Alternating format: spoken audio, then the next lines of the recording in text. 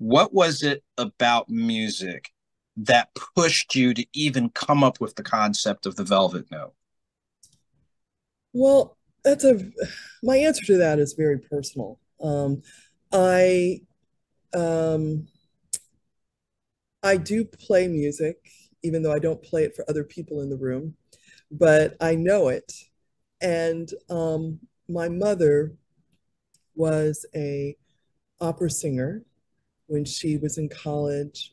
Um, she, we, I grew up in a household in which we were often playing instruments and listening to my mother sing. By the time I was 16 years old, I had played piano for every wedding and funeral in my entire uh, family tree for free. and uh, I, you know, I loved it. Um, and we would also, you know, I come from a military family. So music was often a way in which we would welcome people into our home or be welcomed into others' homes. And um, so I always had memories of music and connectedness and family and love. And I think that stuck with me, even though I didn't choose a, an initial career in music. Um, I think it stuck with me, the feelings that I got when I was listening to music. Um, I started my um, work life as an executive consultant. And then after 20 years, I went on to being an entrepreneur, um, starting businesses. And I've started five of them now. This is number five.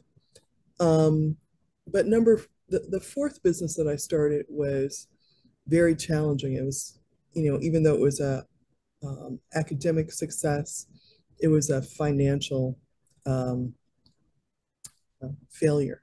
Mm-hmm. And sometimes you learn more from your failures than you do from your successes. And for me, I learned in that um, in that recovery that music was comforting to me.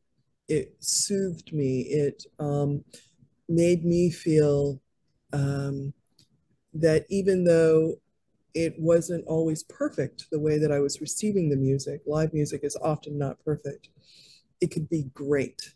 And that was something that my soul needed to hear at that time. So when I got to starting this um, jazz club that was previously, the space itself was previously a, a powder blue frozen yogurt shop. And as you can see now, it's nothing like that. Um, I already had um, experience uh, with what music could do